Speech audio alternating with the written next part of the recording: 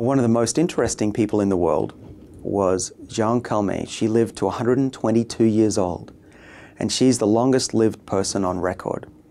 Uh, she died a number of years ago, but she had uh, a great life. She was energetic, she had a great sense of humor. Um, one of the stories I heard is that uh, she was being interviewed by a French reporter, and he was young, and uh, he was there for her birthday, and he said, Well, maybe I'll see you next year. And she said, I don't see why not. You look healthy to me. And this was her type of, her sense of humor. She said, I, only have one wrinkle and I'm actually sitting on it. And so she, she enjoyed life. She lived, uh, I think she smoked till in her 90s. And you get the idea. She lived a whole life. And it would be great if we could all live like that, in my view. Now, what's going on in, uh, in science these days with the, the revolution of uh, genomics and the ability to sequence thousands of people, one day millions, is that we can take people like her, and uh, there are many samples in freezers around the world taken from people who have lived a long time, and we can sequence these genomes and compare them with people who don't live a long time, typically. Uh, and we can ask what are the gene differences? What makes them special, if anything? We already know of a few genes that make so called centenarian families live longer. Uh, these are families that typically live over 100 and their offspring as well.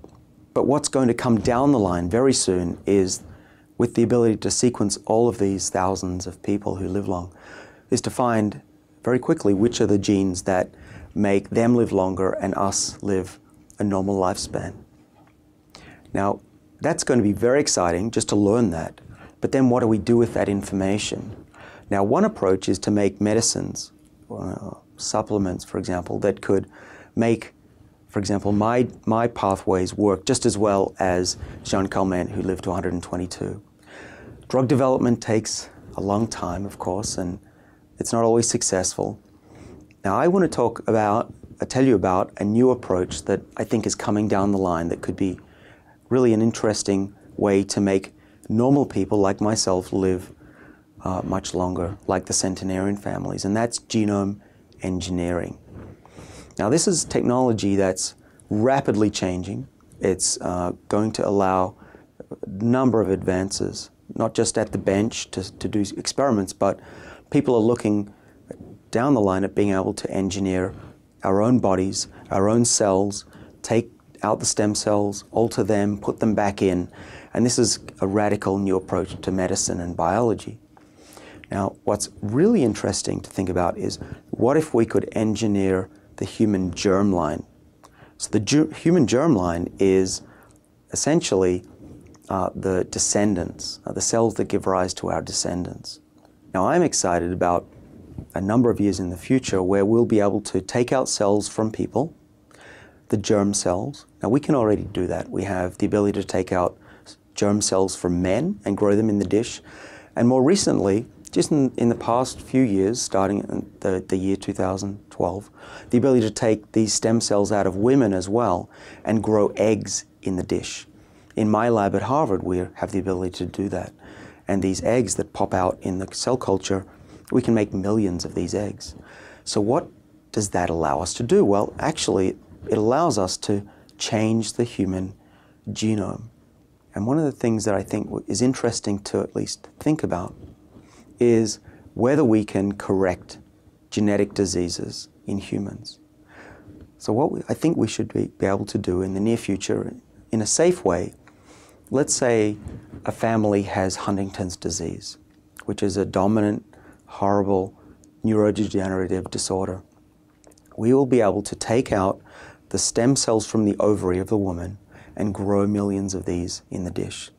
We can then use new genome editing technology that allows us to very precisely change just single bases in the genome or whole stretches or even shrink down regions of DNA that are toxic that would allow the offspring of those parents to be healthy and get rid of genetic diseases out of the germline.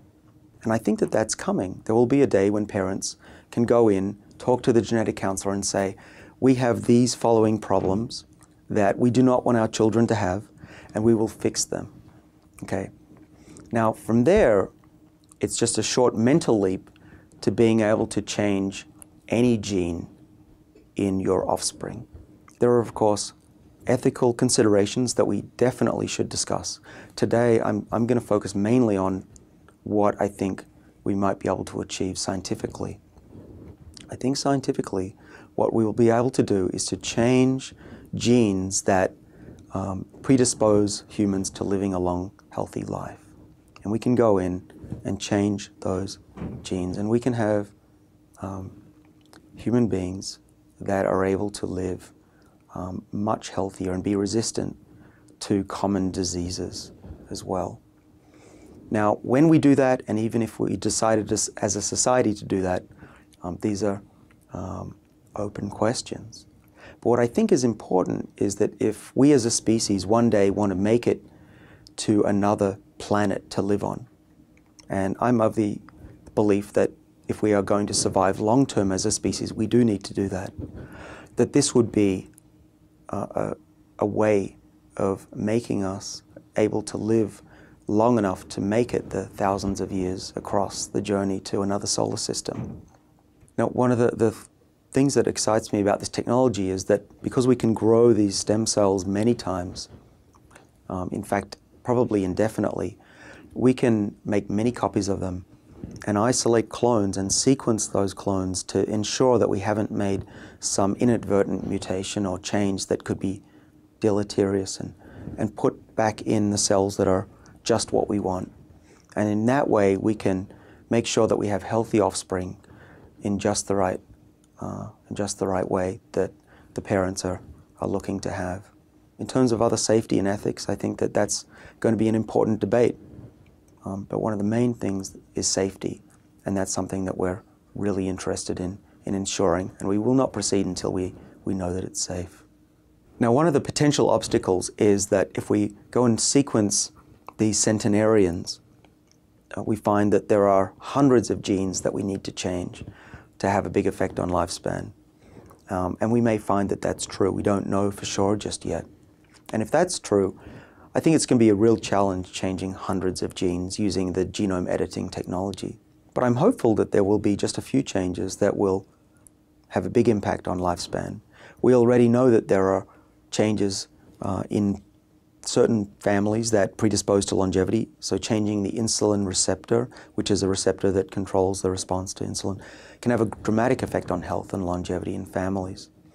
So we'll have to see. We'll, as a field, we'll sequence thousands of genomes of long-lived people. We'll see what the differences are, and then we'll be, have to do some research to decide how many and which genes to try to manipulate to produce healthy, long-lived uh, cells, and eventually long-lived people that, uh, as I was saying, I think that that's necessary for us to, to eventually make it to other planets to survive.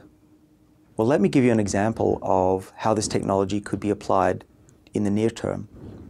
Uh, let's say there's a family uh, where they have the BRCA1 mutation. This is the so-called breast cancer gene. When mutated, the women in the family, the offspring as well, tend to have a greater chance of having breast cancer. And this is a terrible affliction for families. Now, one of the things we are trying to do here in my lab is to see if we can take out the stem cells from ovaries of women who have breast cancer and have the BRCA mutations. And we will grow those stem cells in the lab. These are called OSCs or ovarian stem cells. And we can grow thousands, up to millions of these cells in the dish. And each one of those cells will carry the mutation from the donor. Now, what we want to do is to use genome editing technologies. Uh, these are uh, new enzymes and RNA-directed uh, proteins that are able to change just single bases in the genome of cells. And what we're working on is to change that BRCA mutation back into a wild type, a normal copy. And so far things look really promising in that area. So let's say we're successful in repairing that mutation back to normal. Now we have a stem cell from a woman who had a mutation that's now fixed. What I think the future holds is that we should be able to find ways to mature those egg stem cells, those OSCs, into a fertilizable egg that you could deliver a sperm and do in vitro fertilization methods with. Those technologies are being developed right now in a number of labs around the world, uh, and we're uh, collaborating with those labs. Another approach is to take those stem cells from the dish that have been corrected and inject those back into the ovary of the woman so that they can mature within the body. Now, we think that that's also going to work because there's already some early studies in mice um, and even some unpublished work in monkeys showing that that technology is actually, uh, does actually work. That putting those stem cells back in the ovary can produce offspring, viable offspring. So either the in vivo maturation or the in vitro maturation could be good approaches to taking these stem cells that have been repaired and producing viable offspring. And in that way, a family that is worried about passing on a terrible affliction, a genetic disease to their offspring, no longer has to worry. We can assure them that we can fix their children and generate them so that they will no longer pass on that disease to, to future generations.